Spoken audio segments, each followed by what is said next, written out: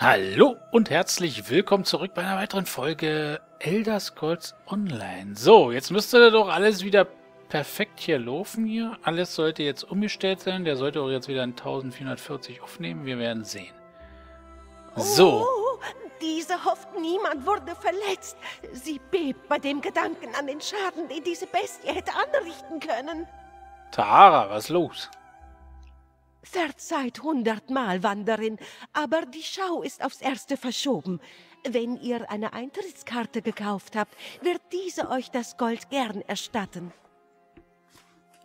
Gibt es ein Problem? Oh, vergebt, Tahara.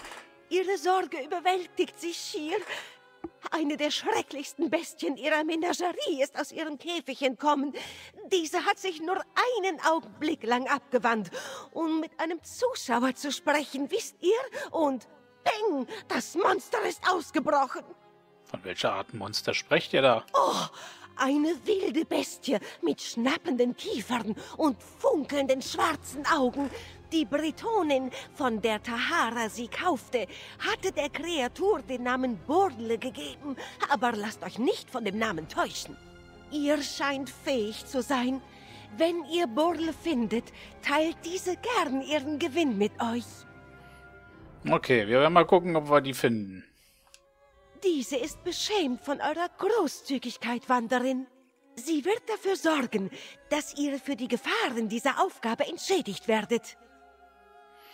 Ich habe noch mehr Fragen zu diesem Monster. Natürlich.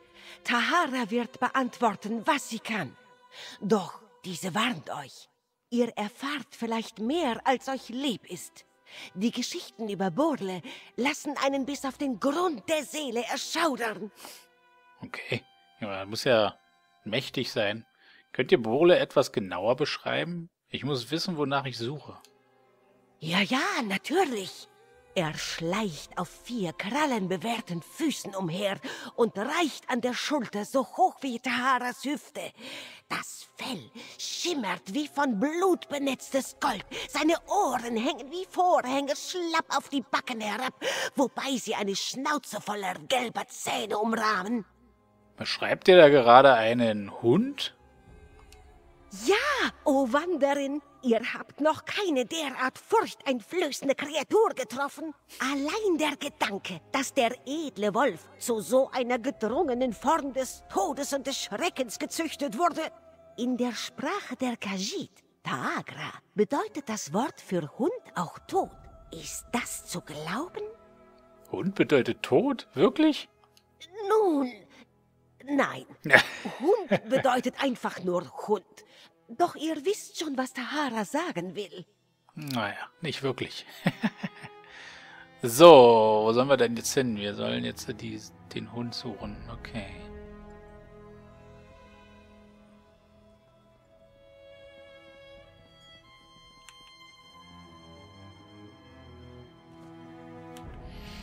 Ah, von mir schon wieder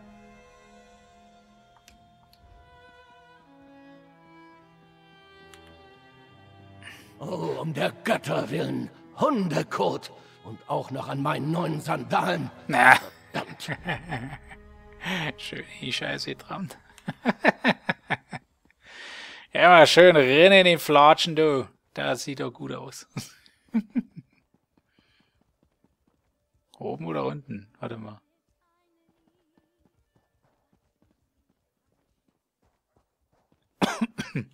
Ach, hier geht's weiter. Da ist er ja.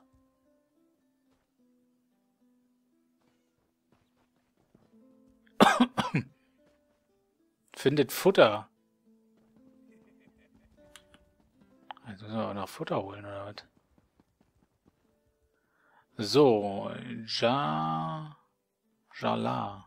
Jalar hofft, ihr habt einen guten Grund, ihn beim Essen zu stören. Ich konnte nicht ohnehin euer feines kajitisches Essen zu bemerken. Ihr seid entweder die am besten angezogene Bettlerin, die dieser je gesehen hat, oder das ist irgendeine Art von Betrug. Was habt ihr vor, Wanderin? Ich kaufe euch ab, was von eurem Essen übrig ist. 69 Gold. Was? Ihr wollt diesem seine Reste abkaufen? Das ist Seltsam. Aber ihr seid im Geschäft. Dieser wollte schon länger mal das gezuckerte Trockenfleisch von dem Stand den Gang runter probieren. Das hier könnt ihr alles haben, Wanderin. Angenehm, mit euch Geschäfte zu machen.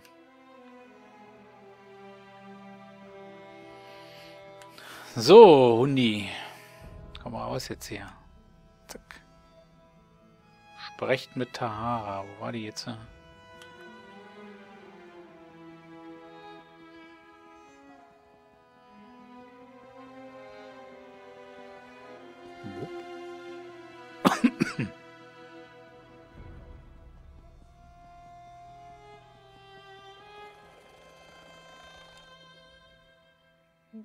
Heldin kehrt mit dem fürchterlichen Burle im Schlepptau zurück.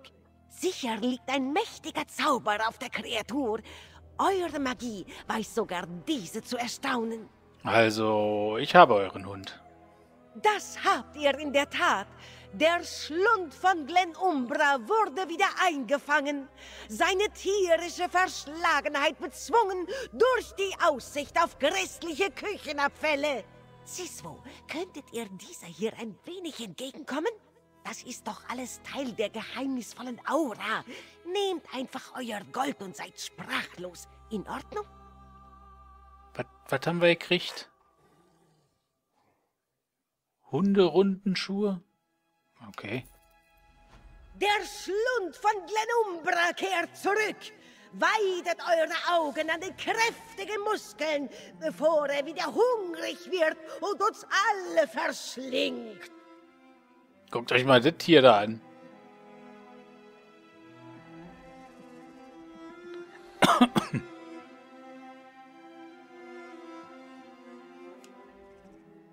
Sieh sich einer dieser Monster an. Bayan hat noch nie so etwas Hässliches gesehen. Abgesehen von seiner Schwiegermutter natürlich. Dieser scherzt. So hässlich ist sie nicht. Aber ihr Temperament viel schlimmer als bei diesem Haufen. Da ist ja eine Ziege bei.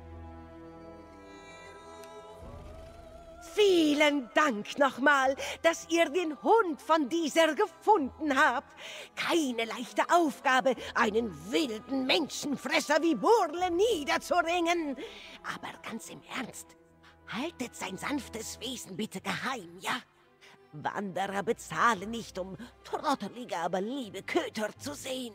Das war also alles nur Teil des Auftritts? Was? Nein, natürlich nicht. Nun, anfangs zumindest. Tahara hatte nicht geplant, dass Burle entkommt. Aber als Schaustellerin braucht man glückliche Zufälle, ja? Ein wilder Hund, der in der Stadt los ist. Geschmeidige Helden, die die Verfolgung aufnehmen. Das ist großes Drama, Wanderin. Ihr meint, dass dadurch die Verkäufe steigen? Diese weiß, dass sie das tun werden. Äh, Zumindest so lange, wie ihr unser kleines Geheimnis für euch behaltet. Die Wahrheit, Freundin, ist, dass die Wahrheit langweilig ist, sauer. Wir alle brauchen von Zeit zu Zeit eine kleine Prise Aufregung, ja? Ja. Okay, ich, ich, äh, ich sage schon nicht. Meint ihr, es ist sicher, solche Kreaturen mitten in der Stadt zu halten? Wenn dieser Hund wieder entkommt, wer weiß, was er dann anrichtet. Der zerfleischt alle. Alle Mann.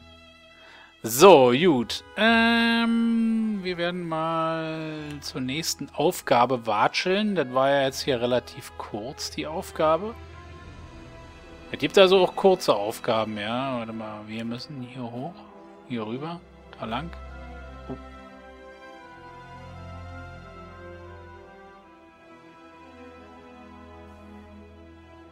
Ja, der ist aber flink, du, hier unterwegs.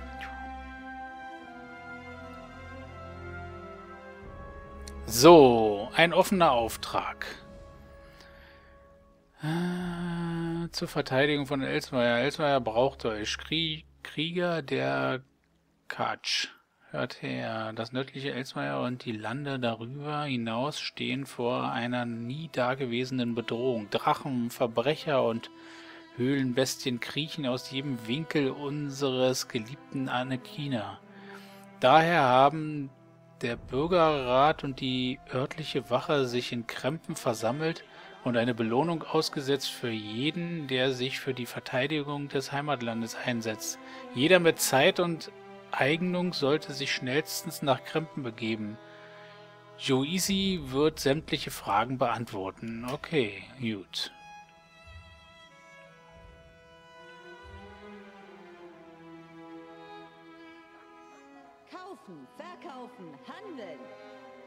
Wo ist denn diese Aufgabe?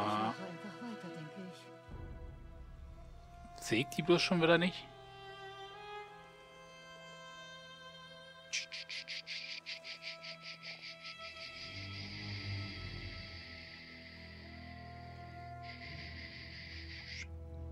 Ich glaube, ich sehe die schon wieder nicht.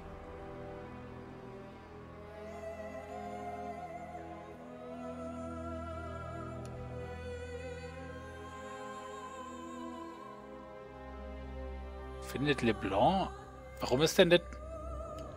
Oh, ich hasse das. Junge, mach mir, wenn ich die Aufgabe annehme, gib mir diese Aufgabe. Ich könnte eine Pause. Ist ja kein Wunder, dass ich das nicht finde. Da unten ist er.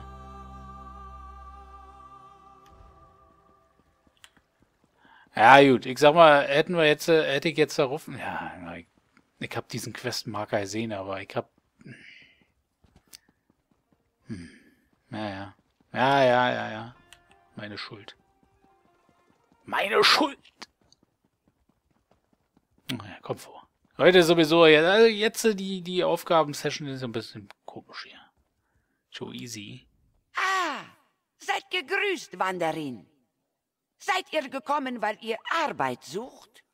Es gibt viel hier in Elsweier zu tun. Richtig viel. Ja, ich habe euer Gesuch gesehen. Welche Art Arbeit habt ihr denn zu bieten? Alle mögliche Arbeit, Rook. Nisuzi bietet Aufgaben an, die ihr allein angehen könnt. Rihir versammelt große Gruppen von Kriegern für den Kampf gegen gewaltige Bestien und wilde Kämpfer. Und Schlachtenvogt Tannerline rekrutiert Helden für die gefährlichste Aufgabe überhaupt, die Drachenjagd. Was könnt ihr mir noch erzählen? Nun, das hängt ganz davon ab. Über wen wollt ihr denn mehr wissen? Rihir, Nisuzi oder Schlachtenvogt Tannerline? Naja, wir wollen erstmal Schlachtenvogt Tanaline. Will Leute, um Drachen zu töten? Nun, jeder will Leute, die Drachen töten. Sie sind eine Landplage. Doch Schlachtenvogt Tannerline bezahlt Helden sogar dafür, dass sie es tun. Ein kleines Wort der Warnung. Niemand kann sich diesen Bestien allein stellen. Sucht euch andere Abenteurer, ehe ihr angreift. Oder ihr endet als knuspriges Brathühnchen, ja? Was hat Rihir, Rihir zu bieten? Ja, Wanderin. Rihir spricht für die Ältesten von Krempen und die Clanmütter. Und sie erwarten so einiges von uns. Manche Bedrohungen sind zu groß, als dass man sich ihnen allein stellen könnte. Gewaltige Bestien, grausame Nekromanten, alle möglichen Schrecken. Doch wenn ihr Erfolg habt, zahlt der alte Rihir gut. Erzählt mir von den Aufträgen, die Nisuri, Nisuzi anbietet. Nisuzi ist eine Bandari. Und die Bandari brauchen immer irgendetwas. Die Arbeit, die ihr für sie machen werdet, wird euch wahrscheinlich in die Höhlen, Minen und versunkenen Ruinen von Elsweier führen. Gefährliche Arbeit, aber nicht so gefährlich, als dass ihr sie nicht allein zustande brächte. Ah, alles klar. Ich hätte Interesse an dem Auftrag. Hervorragend! Bitte sprecht mit meinen Mitarbeitern. Sie werden euch dann helfen, euch zurechtzufinden. Hier ist ein kleines Wegegeld, um euch bei der Stange zu halten. Großzügig, ja? Ah, gute Jagd, Wanderin. Vergesst nicht regelmäßig vorbeizukommen, Wanderin. Dieser Vorschuss wird euch den Bauch nicht lange füllen. Alles klar. So, wer ist jetzt wo hier? Wo ist der Schlachtenvogt? Keine Ahnung. So, wir werden mal uns hier anhören, was die hat. Blaue Quests sind tägliche Quests, ne? Das waren doch irgendwie... Können wir ja mal machen. Nisuzi hat Gold, wenn ihr Zeit habt. Ein Tag ehrliche Arbeit für eine ehrliche Bezahlung, ja? Was ist das für ein Auftrag? Es geht um Euraxias Soldaten. Nisuzis Vetter Hatar meint, dass viele dieser krallenlosen, weichköpfigen Grobiane sich in den Wüstenwindkavernen sammeln. Sie haben vor, den Ort völlig auszuplündern. Sie wollen die gesamte Weisheit unseres Volkes in ihren Besitz bringen. Ihnen ist nichts heilig. Nun, was soll ich tun? Unsere Freunde in den Adeptorien schätzen ihre Schriftrollen sehr. In schlechten Zeiten verstecken diese Adepten unsere Wagen. Sie bieten uns Zuflucht und warmes Essen. Da ist es nur gerecht, dass wir ihnen diesen Gefallen vergelten, ja? Bitte schnappt euch einige dieser Schriftrollen, bevor es das Gefolge Euraxias tut. Die Stimme ist... Die, die Stimme klingt wie... Kamina? Hieß sie Kamina aus äh, The Expanse? Weiß ich jetzt ja nicht.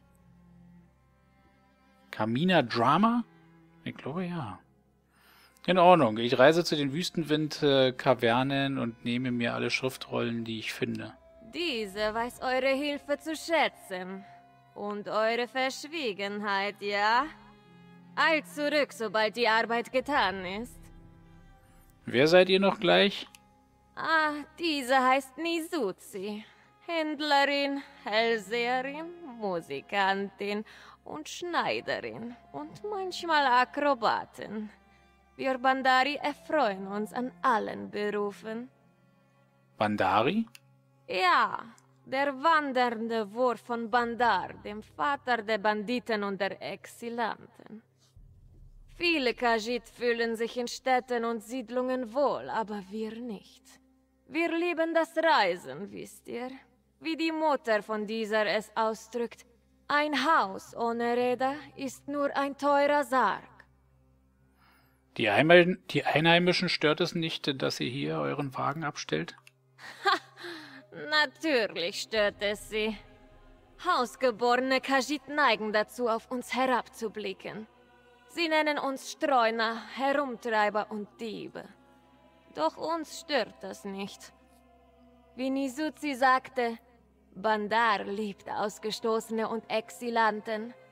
Solange wir seine Liebe haben, brauchen wir nichts anderes. Wenn ihr euch nicht äh, mit hausgeborenen Kajit vertragt, warum seid ihr dann hier? Euretwegen natürlich.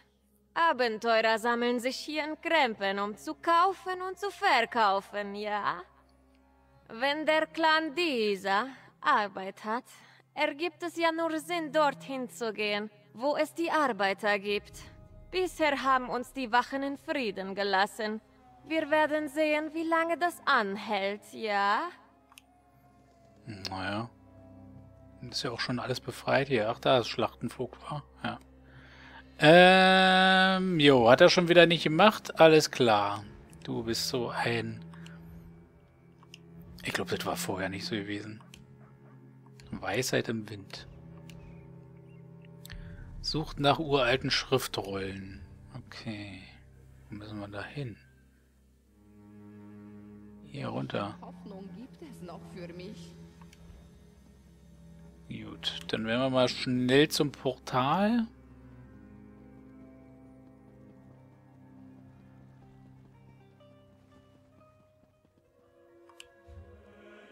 Und dann hier.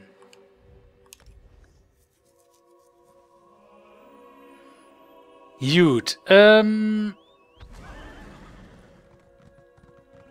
Wir müssen in die Richtung.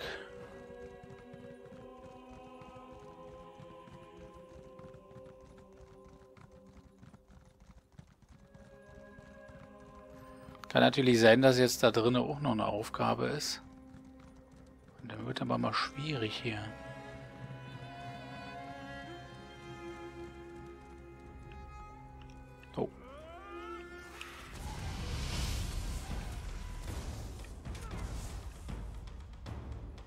Gewimmels von gegnerischen Truppen.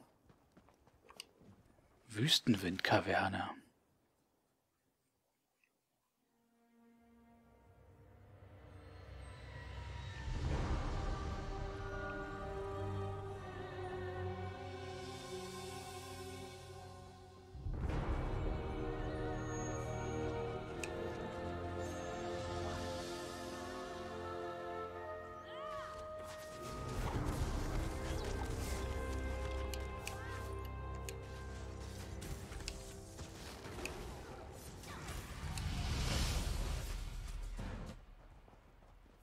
So, sieht aber nicht so aus, als wenn hier irgendwie...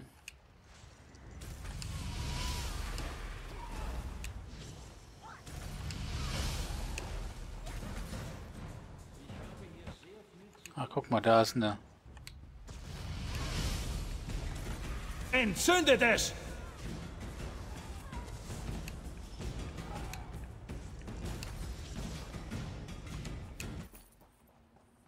Wie die Musik so einfach so abrupt aufhört. Das ist Wahnsinn.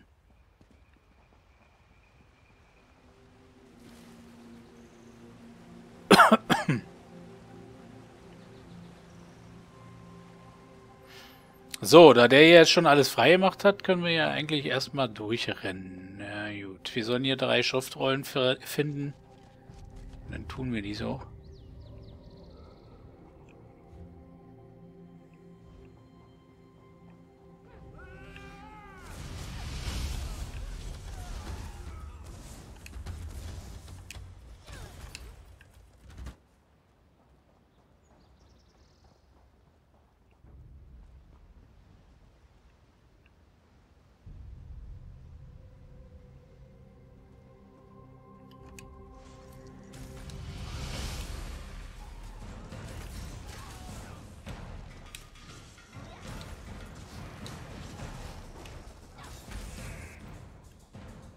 Sehr gut.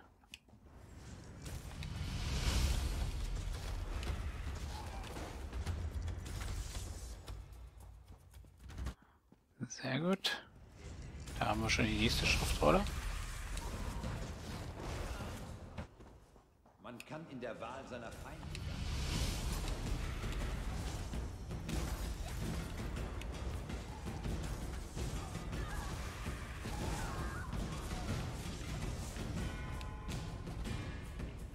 So, da ist Nummer zwei. Das ist doch gut. Ist hier ja kein, kein Boss oder was?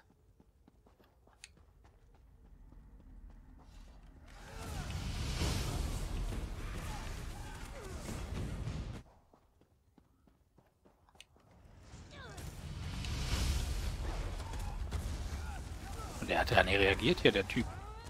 Was ist denn mit dir? Warum bist du denn jetzt so?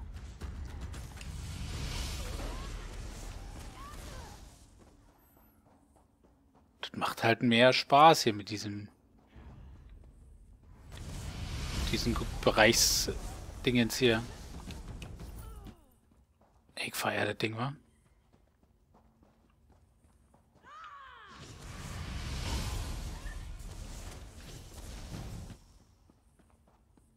Geht halt auch ab. So, ist hier noch was drin? Wüstenwind.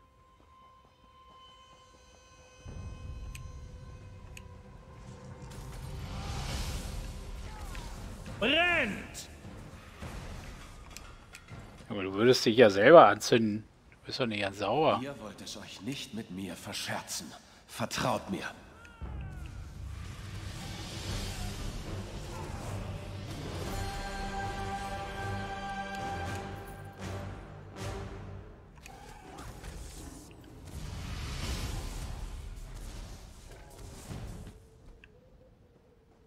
So, damit hätten wir jetzt die letzte Kassette auch noch. Haben wir. Aber wo soll denn hier der Boss sein? Ich würde den gerne abschließen jetzt hier. Verbrennt es! Die schießen die ja selber ab, die Hunde hier. Oh, Geisterviecher hier, du.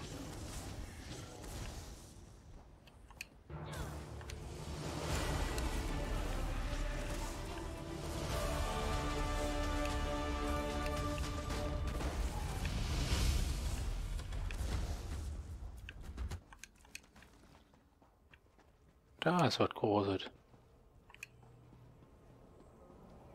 Wie könnt ihr es wagen, das Ritual zu stören? Weiß ich nicht.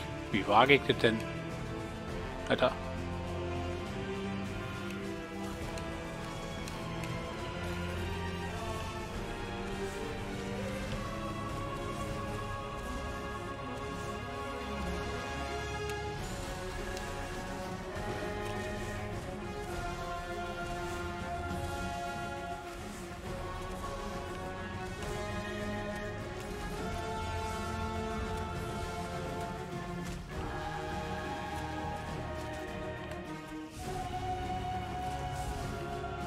Muss erstmal wieder hier auf, aufsammeln hier.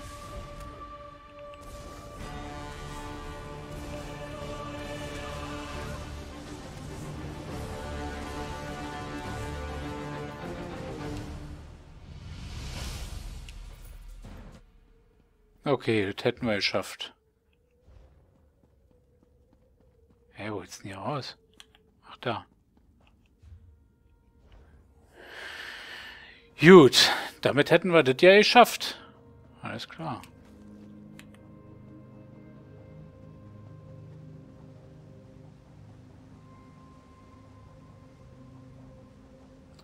Damit sind wir durch. Warte mal, wir können doch dann eigentlich hier rausporten, oder? Können wir doch direkt nach Krempen hier porten. Jo.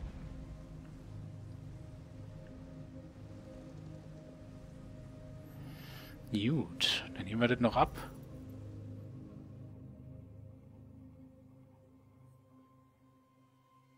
Ist das da eigentlich besondere... Äh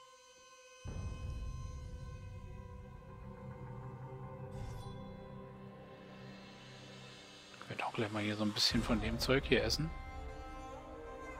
Oder mal wir müssen wo lang? Ne, andere Richtung. Da lang. Mensch. Zweimal gedreht, dreimal rum, dreimal links, vier im Sinn. Immer diese Nekromantie. Siswo! Nizuzi heißt euch ob eurer Rückkehr willkommen, Wanderin. Habt ihr die Arbeit zu Ende gebracht? Jo, habt die uralten Schriftrollen eingesammelt. Helle Monde! Unseren Freunden in den Adeptorien werden die Zuckerbrötchen aus der Hand fallen, wenn sie die hier sehen. Nun, eine gute Tat verdient gute Bezahlung, ja? Bitte sehr, Wanderin. Kommt bald wieder. Ihr sucht nach ehrlicher Arbeit, ja?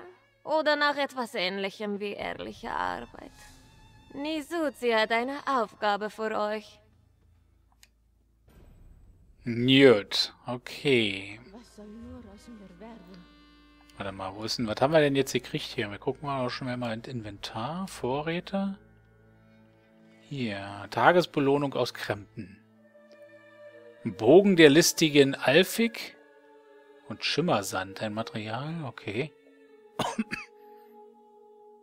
so, okay, alles nehmen. Gut. Freunde der Sonne, ich mache an der Stelle erstmal Schluss. Wir sehen uns hier in der nächsten Folge hoffentlich wieder. Äh, und bis dahin haltet die Ohren steif und tschüss.